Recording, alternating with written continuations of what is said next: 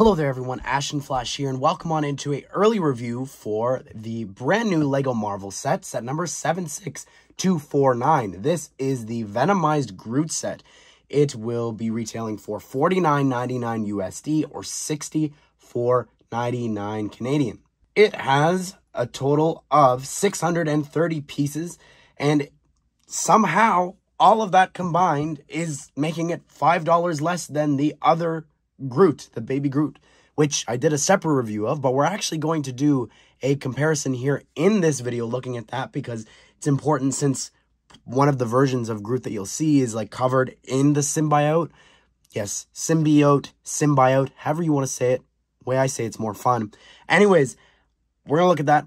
Also, if you want to check out the fully venomized version, there's a time code for that too. So hop around if you want to in this video. Let's go ahead. Let's take a closer look at this set. So here is the Venomized Groot, and it's really cool. I think that when we first heard about this, I was like, oh, really? And honestly, like, I love this set. It just should have been, like, a year delayed or something, not year, for, like, back to back.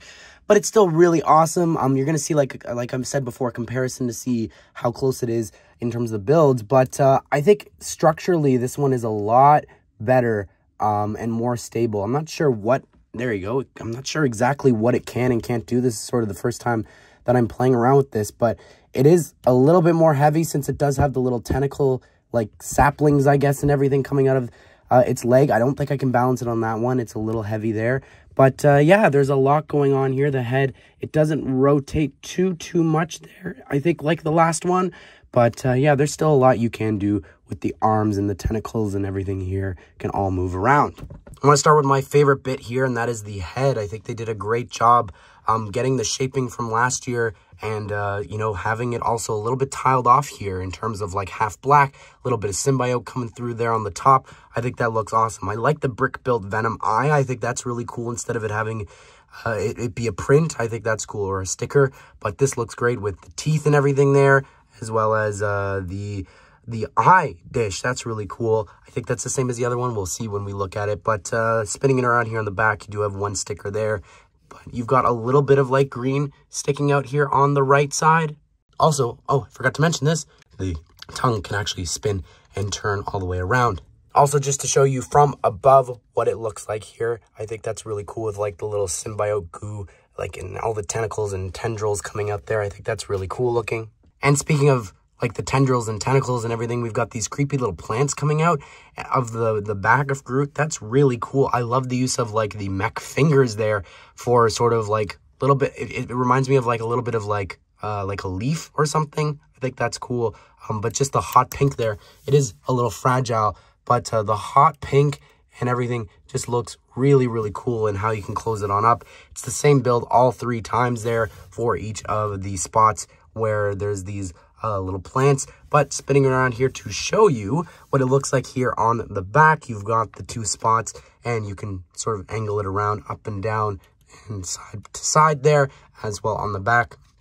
I'm removing this here. I didn't fully remove it, but oh, you can detach the whole back, I guess. Um, you got a spot there with a sticker on the back. Also, the arm, you've got a little bit of like a whip there for like some different vines and roots growing on this and then you've got a sticker there, as well as a sticker on the arm. Over here on this side, you've got some like teeth pieces for some spikes. I think that's really cool, as well as you've got this little joint that you can angle around again as well. And uh, I love the giant like claw here. It looks like almost like the Venom buildable figure hand. I think that's really cool. I'm not sure if that was intentional. Uh, the waist can actually turn and snap, and uh, you've got a little bit of uh, some stickers there. Again, some like tree bark covered in the symbiote. I think that's really cool. I said it wrong that time, didn't I? Anyways, here down below, I really like, again, just how they're covering up some of the wood, leaving some of the wood behind, some green behind. I think that's really cool to see.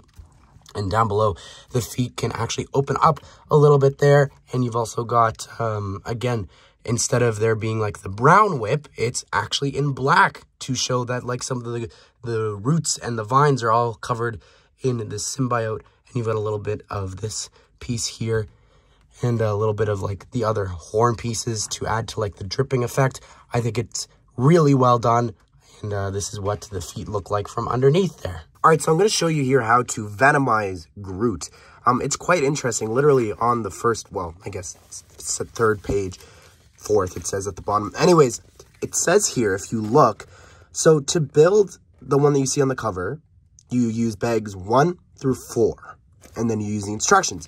But to do the fully venomized one, the regular Venom Groot, you need to use the app and a fifth bag. So I don't like that. I don't like the fact that there isn't a second set of instructions here to build the regular one because you have a whole sealed fifth bag full of parts and you don't have anything to tell you what to do them for. Like I get Mario, you know, with those sets, the digital instructions, but the fact that like this isn't included in any form of instructions, like not extra pages, not flip to page 100 to do that.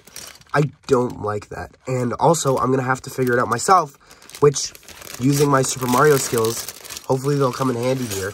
But these are all of the extra parts. Basically, all you're doing is like copying what's on the left side, I think, and just duplicating it. But yeah, these are all of the parts here in bag five to completely transform this into fully Venom Groot. Um, also, I just want to say one other thing.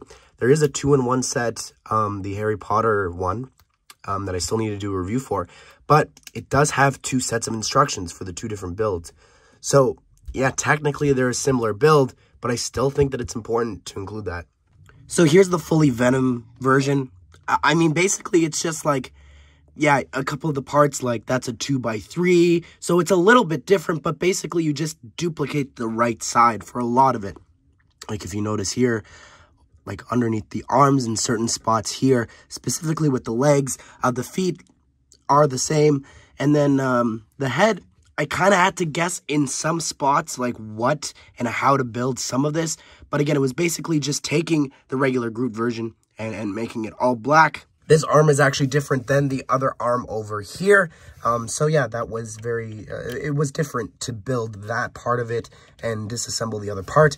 The chest is interesting because you like sort of just remove all of the wood pieces and then you just replace them with black parts. I had this piece like left over, so I'm pretty sure that's where it goes because there was a little bit of brown showing and nowhere else that I've seen has any brown showing. So I'm pretty sure that's correct build for that. Um, but the legs here, you could see um, it's just the same sort of build, just reflected and inverted. So non-wooden, but just black. And here's just more of an up-close look at the head. You could see like this is a spot here that I sort of had to guess. I just took like the wooden build and sort of used all the black parts that I had to create that. But uh, yeah, the rest of that as well, it's fully black here in the back. And, uh, oh, I didn't point that out there for the back as well, since there was like one sliver of wood there. And here's what the top of the head looks like when it's fully all black and symbiotic. Looking at these things side by side, it's a pretty good representation, I think, that they did from last year. I'm looking at like some of the details here, like how they did the eyes, and it's like pretty similar to what they did. Even just some of the detailing here on this arm. Like I'm looking at that and I'm like, I think that's the exact same sticker. So small little details, the vines on the arms. Um, that's a sticker there on the top. Like that's that's really cool little attention to detail. Um, and down below, these are all venomized. I, the only thing I'm just looking at like the designs here. Yeah, that's all all gooped up from um, the symbiote. I think that's really cool. Even the chest bit here, how they're like covering up.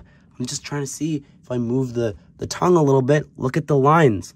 Can see the lines on the left one from last year. And then the lines here, I think that's the same design. So that's kind of cool that they're paying attention to that. They did add a little bit of like uh, vines and a little bit of moss underneath the eyes there. But like the eye, that's the same dish piece. Overall, like the whole design of this, it's it's very similar. I really love that they paid attention to that. The only other difference in terms of the build I'm noticing is the legs. And stability-wise, just trying to pose this thing, just the smallest little bit of act action and movement this thing will actually topple over just because of the weight of everything. But but I guess we should look at the back too, right? You could see here, you've got uh, one sticker there, and then this one's got a little bit of symbiote on it as well. So again, same sticker, just with a little bit of venom gook on it there. But like, look at that from the back. I'm really impressed by how much attention to detail they put into this thing. Well, there you have it, everyone. That is my review of the Venomized Groot. Um, I really loved last year's. I think this is a fun little variant of that. Just too soon, but it's still a great set. Even the value, like you're getting so many more pieces for less of a price. That's really impressive. The only thing that I could say that I wish maybe could have been included is I think the Venom version fully blacked out is a little boring. Just like there's no stickers, there's no prints. It's all brick built, which in a way is a cool like accomplishment. But I just think like maybe adding a little bit of something to that um, would have been kind of cool to see. But overall, still really fun build. I, I love building last year's. I love building this one. I think it's really great. And uh, I, I kind of wish there was a Venomized Groot minifigure, but I'm sure they're going to do that at some point for some promo or some advent calendar or something down the line, I'm sure.